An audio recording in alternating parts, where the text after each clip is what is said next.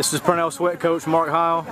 Uh, coach, you guys in the first half tonight ran 38 plays, uh, 240 yards. Is that about what you expect to come in tonight against Western Harnett? We, I mean, you know, we wanted to throw the ball again. We we gotta we going to try to throw the ball to kind of spread people out. Actually, I didn't think we did it as well as we should, and we got hit with some penalties early, but we made it up on some big plays, and uh, we still got to block up front better.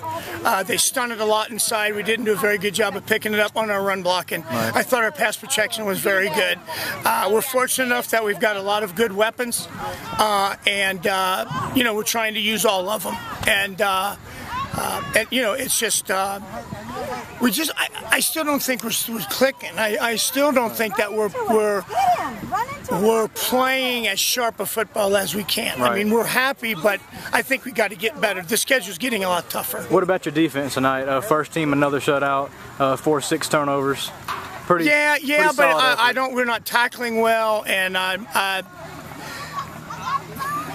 our tackling is not good, and I still don't think we're running to the football very well.